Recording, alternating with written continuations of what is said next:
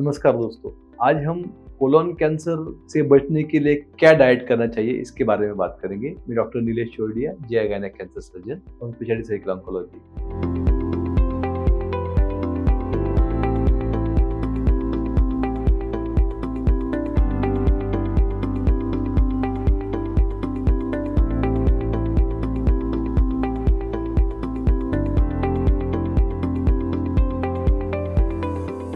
जो colon cancer से अगर हमें फाइट करना है या प्रिवेंट करना है तो इसमें कुछ फ़ूड से वो काफ़ी इम्पोर्टेंट रोल प्ले करते हैं।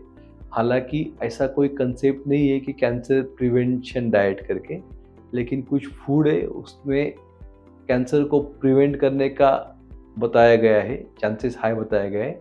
उसके बारे में हम बात करेंगे। तो मोस्ट इंपॉर्टेंट जो उसमें है, ये ग्रीन वेजिटेबल्स है। ग्रीन वेजिटेबल्स में स्पिनच ब्रोकोली इनमें काफ़ी हाई मात्रा में ल्यूटेंस रहते हैं, विटामिन ई सी रहते हैं और कैल्शियम रहता है। तो ये इनको कैंसर फाइटिंग इफ़ेक्ट है।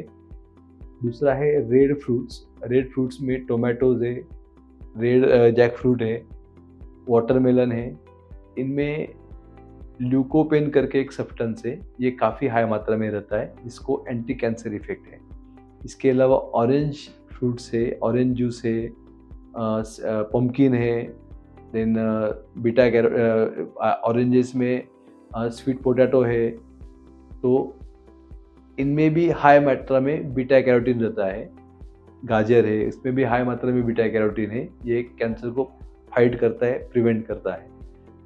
जो वीट है सेलरी है, इसमें विटामिन ई काफ़ी हाई मात्रा में पाया जाता है। मैंगो आलमंड इसमें विटामिन सी और सेलेनियम हाई मात्रा में पाया जाता है तो इनको भी एक एंटी कैंसर इफ़ेक्ट है। तो बेसिकली ये अगर हम डाइट में रखते हैं, कुछ ग्रीन पार्ट है, कुछ येलो पार्ट है ऑरेंज पार्ट है, कुछ रेड पार्ट है, ये मल्टी कलर डाइट अगर अपना हो तो आप कैंसर को काफ़ी हद तक प्रिवेंट कर सकते हैं। तो जो माइक्रोन्यूट्रिएंट्स है, इसका डाइट में बराबर समावेश है तो अपने आप तुम्हारा इम्यूनिटी बढ़ता है इसमें से कुछ फैक्टर्स डायरेक्टली कैंसर के लिए अगेंस्ट फाइट करते हैं। जो हम इंडियन जो फ़ूड है, इसमें मसाला जो यूज़ करते हैं इंडियन मसाला जो बोलते हैं हम इसमें करक्यूमिन रहता है, हलद है पाइपरिन है, इनको भी एक एंटी कैंसर इफ़ेक्ट है।